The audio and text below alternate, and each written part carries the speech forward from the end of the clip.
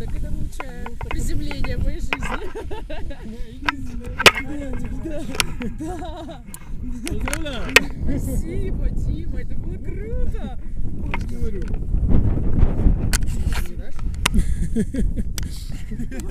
Я